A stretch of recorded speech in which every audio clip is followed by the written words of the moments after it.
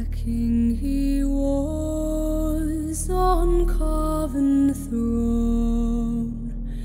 In many pillared halls of stone. With golden roof and silver floor. And runes of power upon the door. of souls.